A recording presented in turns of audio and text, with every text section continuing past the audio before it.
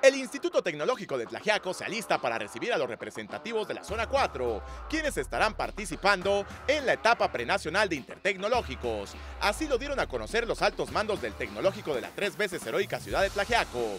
En conferencia de prensa, Víctor Manuel Jiménez Cruz, director, acompañado por la subdirectora de Vinculación y Planeación Olga Leiva Juárez, además de Audel Rolando Pérez y Evaristo López Hernández, subdirector académico y subdirector administrativo de la institución respectivamente, hablaron de este evento el cual estará arrancando el lunes primero de mayo teniendo una duración de cinco días. Serán 19 las instituciones provenientes de Veracruz, Tabasco, Puebla y Oaxaca las que estarán arribando a Tlajiaco para participar en este evento estudiantil que contará con las disciplinas de básquetbol y fútbol en rama varonil y femenil. Los organizadores comentaron que serán aproximadamente 600 los estudiantes que arribarán a la ciudad sede para buscar su pase a la fase nacional, con los objetivos de convivir sanamente y seguir desarrollando su educación de forma integral.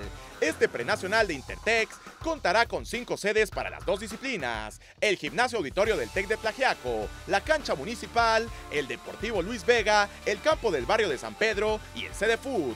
La inauguración se estará realizando el primero de mayo a las 9 horas en el gimnasio del TEC, mientras que la clausura será el 5 de ese mes a las 12 horas. Entre algunas de las instituciones que ya están confirmadas son Cintalapa, Comitancillo, Istmo, Pinotepa, Salina Cruz, San Andrés Tuxtla, San Miguel, Tuxtepec, Valle de Etla, Oaxaca, La Venta, entre otros. La etapa nacional de intertecnológicos se estará desarrollando desde el 23 de octubre en Querétaro. Con imágenes de Omar Pérez, informó para MBM Deportes, Pablo Vázquez.